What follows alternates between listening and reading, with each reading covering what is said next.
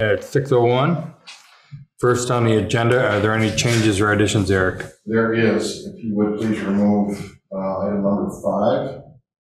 Okay, Uh, Mr. Foster advised me today that uh, we had an unexpected uh, appointment, okay. All right. Uh, Next, approve the minutes. The minutes of June 20th, 2022. Make a motion, we approve them. I have a motion by Brian, Second? and second by Don. Is there any discussion about these minutes? Look good to me. All in favor, say aye. Aye. Any opposed? I will abstain. You say aye, Judy? No, I abstained because I wasn't there. Okay. All right. The minutes are approved. Three and one abstaining and one not here. Right. Hi, Jess, can you hear me? Hi, Bob. I can hear you. Can you hear All me? right, great. We just, we just voted to approve the minutes.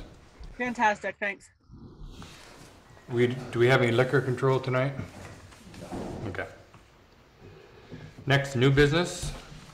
And number one, accept resignation letter for Panagiotis Korkala- Korkalis? Kukulis, Peter. Korkulis. Pete is a member of our uh, highway department, been with us for about six years, has done a phenomenal job, taking on uh, extra duties. Uh, He is the one that was responsible for the mapping of our culverts uh, in the, the uh, software that Waterline gives us a module for. Mhm. He has, uh, took on this spring the job of inspecting all our secondary road bridges and giving a full report photographs on that, did an excellent job with that. He's a quality employee and we're gonna miss him. Uh, He and his wife have reached a point in life where winter is no longer something they enjoy sharing. So they are moving to the sunny south and have sent nice letters of of resignation uh, to both our highway department and the EMS. Okay. Do I hear a motion regarding this resigna- resignation? The first one is from his position as the full-time highway. Yep. Make a motion, we approve. All right, I have a motion by Brian. Is there a second? Second? Second by Don. Is there any further discussion on this? Did you say there's two separate resignations Yeah. here? Okay, so one's from EMS and one's from, Highway. Hi, we're doing highway first. okay, yep. Send him a letter, thank you. Okay. All in favor, say aye. Aye. Aye. Aye. Hi. Any opposed? Motion is passed unanimously. Next, EMS volunteer. Same person uh, from there. Do we want to make a motion for that? I'll make a motion, we accept his letter of resignation from Morristown EMS. Second. I have a motion by Don and a second by Brian. Any further discussion on this one? All in favor, say aye. Aye. Aye. Aye. Jess? Hi. Okay, any opposed? Motion is passed unanimously. Next, uh, EMS volunteer, add Todd Bannister. Uh, Bill. Bill Bannister is a uh, uh, EMS provider currently certified at the, uh, the new level in Vermont, Vermont Emergency Responder. Uh, He's licensed at that level by the state of Vermont. He's currently active with another uh, EMS service within the district, and uh, he's requesting uh, membership uh, as an EMS volunteer with Morristown. Okay. Do we hear a motion regarding that? Make a motion, we approve it. Motion by Brian, we have a second. Second? Second by Don. Is there any further discussion on this? All in favor, say aye. Aye. Aye. Jess? Hi. Aye. Any opposed? Motion is passed unanimously. Next, discuss ordering an ambulance. Bill? Again, Sorry to, I'm chewing up a lot of, a lot of agenda time here this evening, it seems like. Um, we, um, as you're aware, we are on a five-year replacement for ambulances. Uh, the newest one that we have is A two, which is, uh, which, uh, was, uh, built on a twenty eighteen chassis, came to us and put in service early in twenty nineteen. Um, Our next replacement uh, would be for the 2013 ambulance that we purchased as a used ambulance in August of 2019. Uh, So that truck will be 10 years old and uh, has a currently has 130,000 miles on it. Uh, It's, it's been serving us well and continues to serve us well, but it is due for replacement in the 23-24 budget year. Okay. Uh, Currently, uh, if we were to order a new ambulance today, we're looking at a February of 2024 delivery. Uh, So the concern that we have is that if we wait until the beginning of the 23-24 budget year to place that order, we're actually looking at a seven-year replacement cycle, not a five-year replacement cycle. Um, So we do have a, uh, we do have schematics uh, and uh, a quotation summary from Northeastern Rescue Vehicles to essentially build us a twin of the current A2. The difference being, if this one would be on a Chevy 4500 chassis, uh, the Ford F450s are not available, and we don't have, even have a beginning of when they would be available uh, to be the twin chassis-wise to our current truck. Um, We entertained the thought of going with the Dodge Ram chassis, but we can't get it serviced locally. It would have to go either Newport or Montpelier for service. I'd like to keep that local because the duty crew can drop it off and, uh, you know, it'll all be done right here in the area. Uh, So that left us with the, with the Chevy 4500 chassis. Uh, The quote from uh, Northeastern Vehicles uh, for that truck would be $299,640. That would be placed into the 23-24 budget year um, because that's when it would be, expect, that's the next cycle for that money. Um, In order to get that truck to us on a five-year cycle, which would be February 2024, uh, we are gonna need to stand, sign a contract and lock in that price, lock in a Chevy 4500 chassis sooner rather than later. Uh, So that price quote that we have is, uh, is good for 30 days. Uh, And I've also got the schematics here for you. And uh, uh, this article's kind of making the rounds because everybody's dealing with it about uh, ambulance chassis shortages nationwide. Uh, So uh, short of it is, we'd like to sign a contract with Northeastern for that vehicle, expecting it to be a February 24 delivery, uh, uh, where the funds would be, uh, the funds would be in that 23, 24 budget as expected. Give Uh, And this would, this would place us, uh, having signed a contract payable on delivery of the truck, would place us in queue and keep us on our five-year cycle. Where's the money coming out of? I was looking at Okay. Tina. We have, we have bu- budgeted in our capital budget for fifty thousand dollars a year for five years, starting next budget, like Bill mentioned. Obviously, that'll have to be raised if that's the price. The only concern is, is that there should be a clause in any contract we sign right now that if it doesn't pass a town meeting, we are not obligated to buy it. And that is in the contract. Yeah, and we're having to do that with our highway trucks too, because it is such a long time before you get them after you order them. And, um, our auditor says that it's not a problem, but you have to have that clause so you're not locked in financially. Right, I'm sure companies like this are used to dealing with municipalities that have that situation. So the fine print will say that Bill is re- responsible for the ambulance? Yeah, he's gonna have to pay for it. The last two sentences of the contract. Yeah. If the voters reject it. Yeah, We can, we can set it up on a payroll deduct plan. ten dollars a week Yeah, for two hundred years. So then, essentially, we need to, uh, in order to be in the queue for being on cycle for delivery in February 2024, we need to order in the next 30 days. Is that, uh, is that price point a lot higher than what it was gonna be? A, A2, A2 was 285,000, and So that was in So 2018. it's not too, too much higher. Denny, The worst thing of it is just like in our fire trucks, every year you wait, that truck, that ambulance will go ten to fifteen percent higher. yeah. so you're looking for us to approve a contract tonight? Yes, sir. And is there a down payment necessary with this No, sir. contract? No, Payments it's, are on delivery. An acceptance on delivery. And- Judy or Jess? Jess, go ahead. Um, and this amount, um, you said it's a little bit over budget and we will have to be going to the taxpayers to get it approved at town meeting. Yeah, the voters have to approve the purchase of it. Okay. Do I hear a motion regarding this? I'll make a motion that we, do you want, do we have wording on this? A motion to, To approve the contract with Northeastern. to approve a contract with As presented. Northeastern for, And put the dollar amount in there as well. for an Also- A two? If you could say it's a sole source vendor too.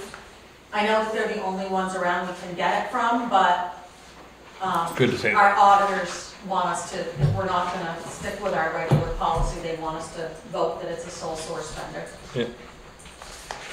Is that part of your motion, Don? Yeah, I'm just, Okay. so. Is there, A motion to, uh, create a contract with Northeastern for, and who's a sole source As a vendor? sole source vendor. For two hundred and ninety-nine thousand dollars, six hundred, six hundred and forty. Two hundred ninety-nine, six forty. four Or sixty-six. six. There's some dyslexia there. Four six six. Four six, I do have some dyslexia. Two ninety-nine, four sixty-six. You had, you had had it covered anyway.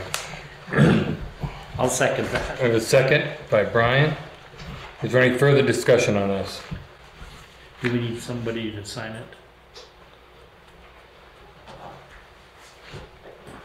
Yeah.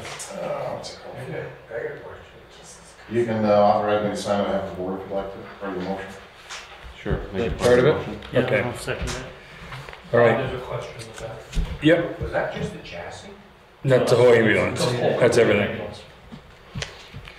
Any further discussion on this? All in favor, say aye. Aye. Aye. Aye. Judy, Jess? Aye. Any Aye. opposed? Motion is passed unanimously. You want to sign that, Eric? Okay. All right, uh, since we're not doing number five, I didn't know if you heard that, Jess. Uh, we'll go to number six. Appoint TAC member Hannah Farda, reappointment. I'm sorry, Uh, what, what does TAC s- stand for? Uh, that's the Transportation Advisory Committee. It's a committee through, uh, that's administered through LCPC. Okay, And It's a collection of all the towns that uh, send representatives to discuss uh, all things transportation that impact the, the uh, county. okay, Uh, She's sat on the board for a year now. Uh, I was on the phone with her last week. She enjoys it. She'd like to continue doing it. She and I are, are getting together to meet, uh, discuss different things that impact Morrisville. Uh, A couple of things on, uh, on our plate right now that we're looking to bring to their attention so that that, the voice of the TAC is a little louder than an individual Morrisville voice, so it's the voice of the county. If the council, if that committee approves the idea, then a letter is sent from the TAC to AOT with a recommendation to approve the project. And one of those is the, uh, the lighting of the intersection of 15 and 15A. It's very, very dark and hard to see when coming from Hardwick at night to see the 15A turn. Yeah. Uh, And the second one just came to us today. And It's been an issue, we've put it out for some time now, but um, uh, we have a a resident on Route 15 just prior to the Price Chopper, uh, just east of it. They are seeking to have the speed limit reduction occur further to the east of their residence. Uh, Still a 50 zone in front of their house and a 35 zone within sight of their driveway, but traffic obviously going 50 by their house. We have a new development that's uh, coming into 15 uh, just down the road there, and then Leo Small Engine just prior to that. Uh, It is become busier. We have the Pool Avenue, uh, the commercial area in there, and uh, traffic turning and entering the highway. So we're going to take that to the, to the TAC to talk to them about the possibility of AOT lowering the speed, uh, not lower than it is currently posted, but extending that lower speed limit further toward the Lowell Cody area. I don't know exactly where it would end up, Okay, but that would be the request. all right. Do I hear a motion to appoint Hannah Farda? I'm gonna make a motion, we appoint her. I have a motion by Brian. Is there a second? Second? Second by Don. Is there any further discussion on this? All in favor, say aye. Aye. Judy? Aye. Jess? Aye. Any opposed? Motion is passed unanimously. Next, old business, during old business. Seeing none. Approve the warrants. Do I hear a motion to Make a them? motion, we approve them. I have a motion by Brian, is it second? Second? Second by Don. All in favor, say aye. Aye. Aye. Jess?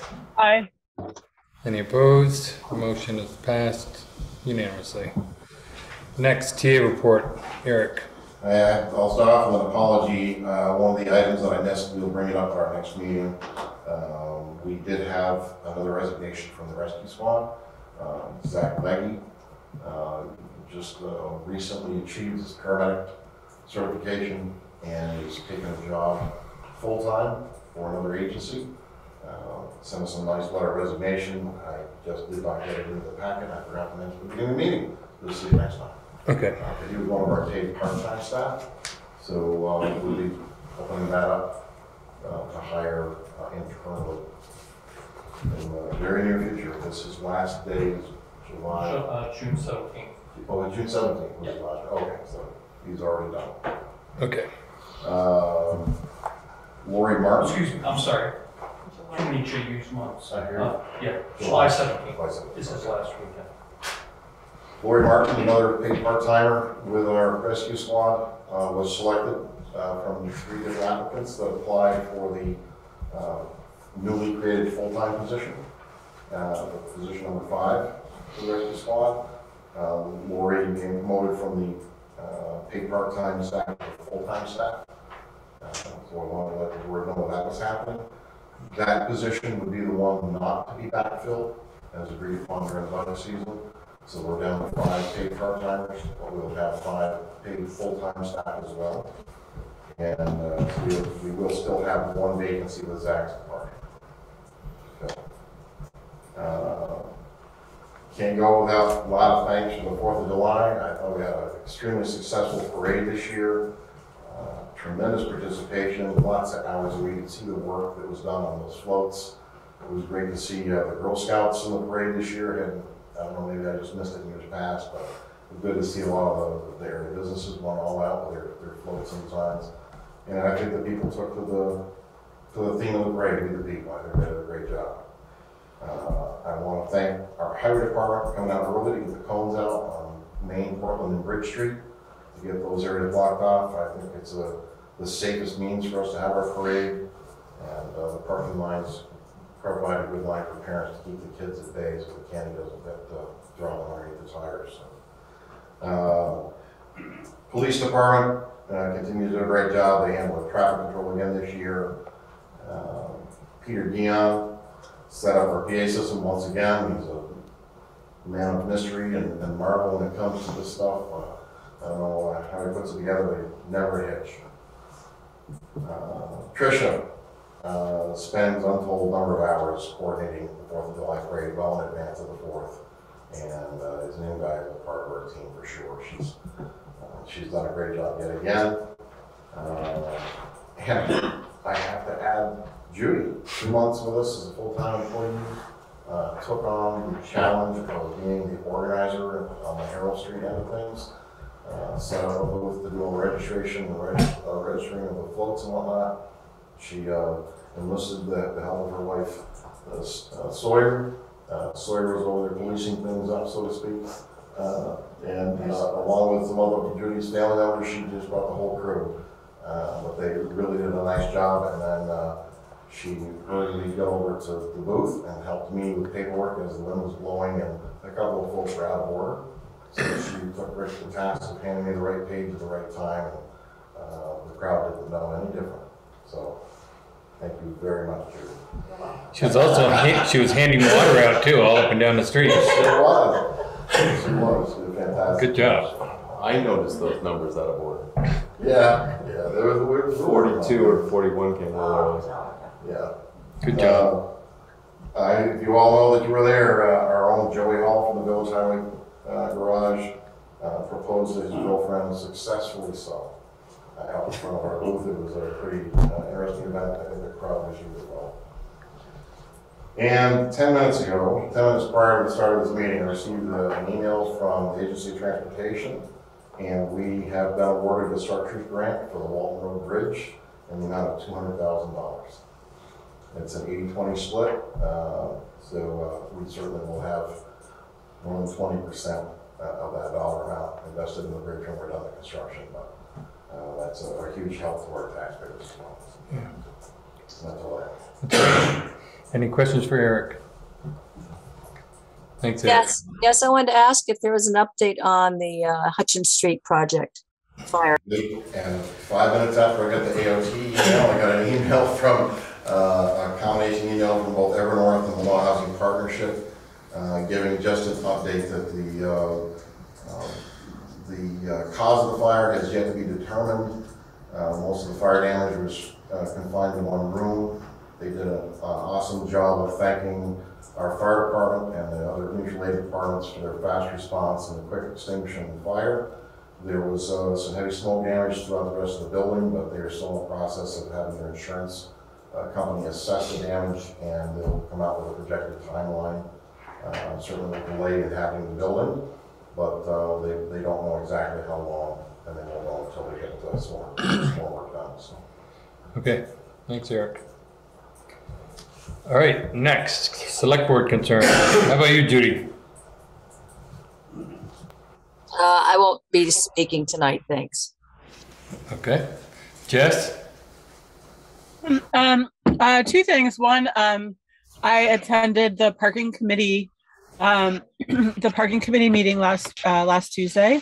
Nice. And, um, I think we, um, started coming up with a lot of great ideas, um, for how to address concerns, um, around parking in town, um, revisiting some old ideas, um, and looking for some new creative solutions. Um, kind of splitting our brainstorming into uh, the low hanging fruit, easy to um, fund solutions like um, signage and restriping, and then um, you know bigger bigger budget item ideas. So um, it was a really productive meeting, um, and I really um, it's a great group, and I'm looking forward to um, to continuing to meet through this summer. Our next meeting is I think on the 26th of July. Um, and then my other concern, um, and I, I should have just touched base with, um, Eric and Judy before the meeting, but, um, I'm, I, I wasn't able to. Uh, I had a, a community member reach out to me, um, and let me know that, um, they were, um, they were disappointed that they hadn't heard about a, um, a planning council, um, meeting, um, about the new Brooklyn Heights um, zoning change, um, and they were wondering um, if if those meetings are also posted on Front Porch Forum and on our Facebook page, um, if they're only um, posted by um, uh, like you know in um, by printed notices around town and, and in the paper. Um, so I was just wondering um, if anyone could speak to that and if we could um, continue to to work on getting the word out a little more a little more frequently on on the elec electronic and digital sphere. All, just all the neighbors received notices of the hearing, so any of the, uh, the neighbor or properties that are in that area received. Right, yeah, I I was aware I was aware of that. I don't believe that they were um on the, I know I did see that list too. They weren't on on that list. But um there's someone who I believe like lives close enough that they'd be affected. Sure, and as well, uh, Judy, you can give a list of where the, the meeting was posted? Uh, so I know Todd posted it on the front window of the town hall, in that window right there, of the town office, at the post office. I don't know where else Todd does it, but I put it on the website for Todd. Um, so those three spots that I'm aware of for sure, the rest would have to come from Todd, Jess. I don't know where he, d- where he puts it. Todd posted on the front porch forum, because I read it there myself. Yeah, I did. too. Okay. yeah, I did too. yeah. And then, um, and then the other, I guess the other question is, I know that, um, people who sign up can get, uh, agendas emailed to them for our select board meetings. Um, is that, is there a similar? I'm, you know, I, I, I apologize that this is not exactly, um, a select board concern, but it is a concern from the community. Um, so is there another list that goes out for our subcommittees? Um, you know, for people who are interested in the agendas, or does that, does that exist or not exist? If they did, it would exist through Todd. He administers both the DRB and Planning Council. I'm not sure if there, such a a list that has ever been created. Oh, okay. So I'll just, I guess I'll speak with him and uh see if we can make that happen. Yeah, yeah, go Todd. Okay. All right, I do know, Jess, that Todd is doing that. He does have me on a list, so he does send me planning Okay. council agenda. Okay. Wouldn't be hard to add names, I'm sure. Okay, so they should just reach out. They should just email Todd. Okay. Okay. Thank All you. right. Thanks, Jess. Don? Well, a lot of this has already been said, but obviously thanks to the fire department for their work on Sunday morning. And I was out of town, I got an email from you and um, I'm glad that didn't go any further, obviously. And in regards to the parade, Eric, you've thanked everyone that I wanted to thank except yourself. Thank you to you for, uh, for all you did to make sure that happened as well as it did, so it was a good day. It's good to see everybody out in town. Yeah. Sent pictures to my kids and they were pretty happy to see the town out. Great. Thank Don. Brian? I want to say thanks, and thanks not just to our fire department, but the other ones that responded. They all did a great job by the sounds, and, uh, again, I think the parade and fireworks were great. Uh, Thanks. Very good. And I'll just echo everybody's thanks. I guess we'll thank everybody all the way around. It was great.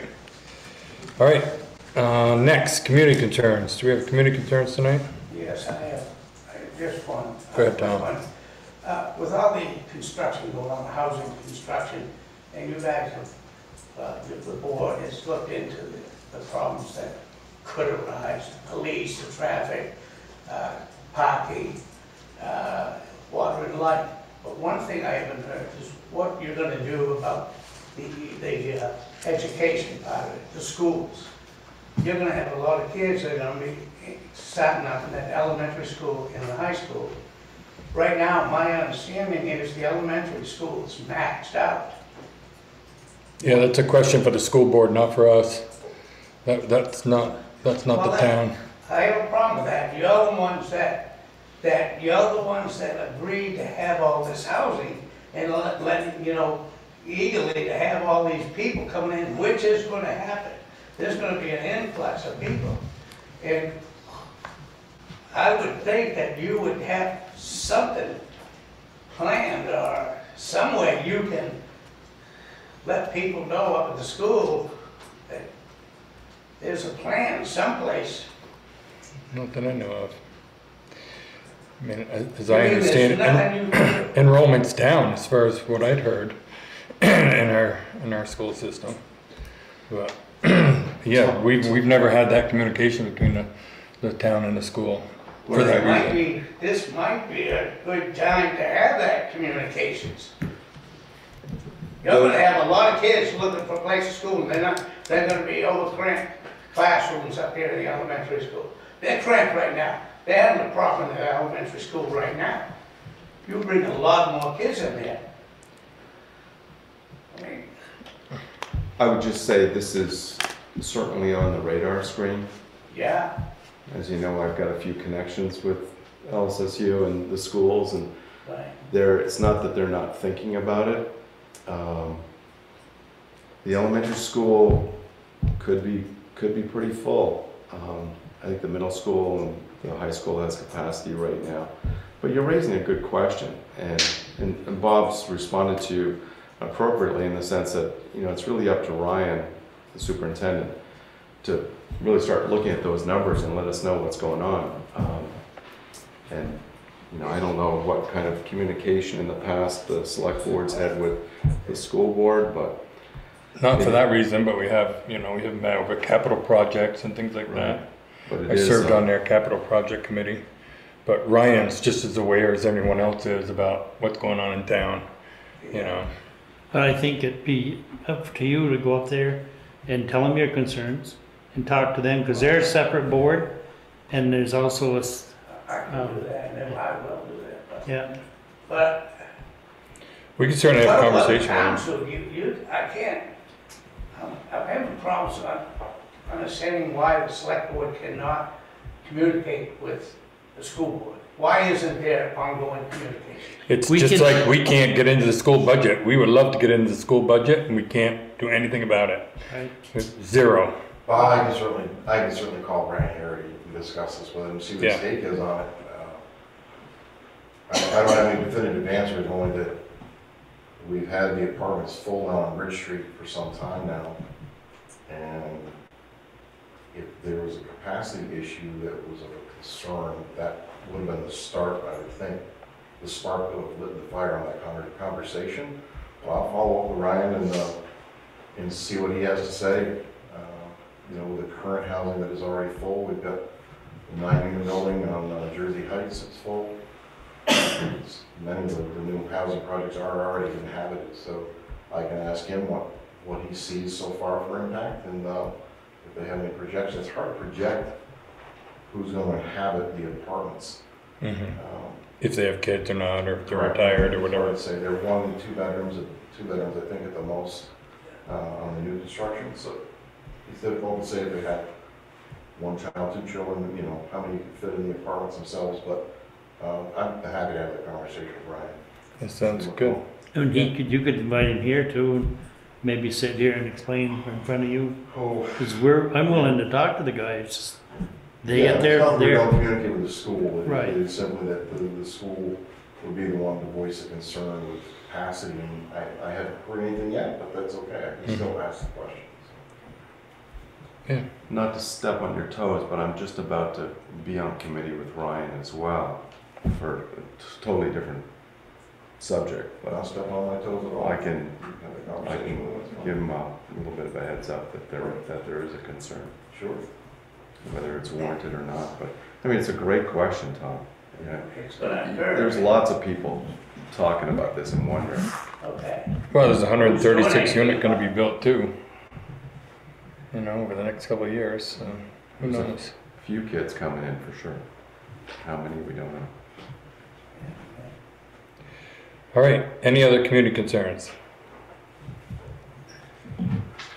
Any other business? Denny? I'd just like to thank our highway, our EMS, our PD, Stowe Fire, Wolcott Fire, Elmore Fire, Hyde Park Fire for all the help that we had on Sunday. And none of the groups complained. EMS did two transports up to Copley. Highway blocked roads off until we cleared our engines. We had large diameter, both at the Bijou and down at the bottom of Creamery Hill. And they talked to me on the radio towards the end, upbeat, no, so, Nice. and actually, the inspectors had to wait for us. To air out the building. Which is odd. Hmm. 'Cause Usually we wait around for them, Right. but he was already out in Milton, so he just had to come from Williston. But I'd just like to let it be known on all the help we received Great. from other agencies, so. Sounds great. Thank Denny. thank you. Any other business? Do I hear a motion to adjourn? Motion to adjourn? Second. Motion by Don, second by Brian.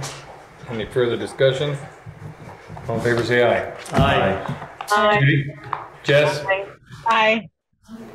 I don't know, Bob, you may have won it this time. Great. We're now adjourned.